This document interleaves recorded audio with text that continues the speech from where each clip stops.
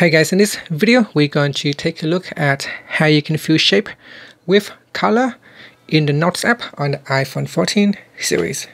First, let's go back to the home screen by swiping up at the bottom of the screen.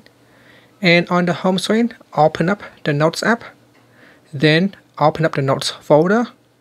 In here, open up the note that you want to change.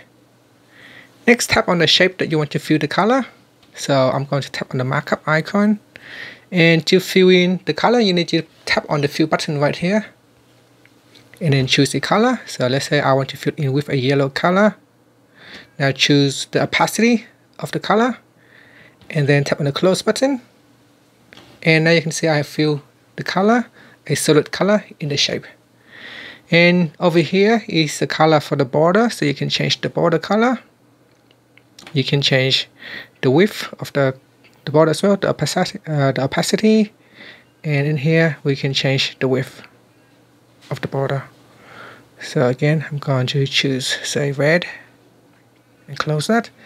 And that is how you can change uh, the infill or the solid color. You can fill in the solid color of a shape and how you can also change the border color. After that, you can tap on the done button to complete. And that's it. Thank you for watching this video. Please subscribe to my channel for more videos.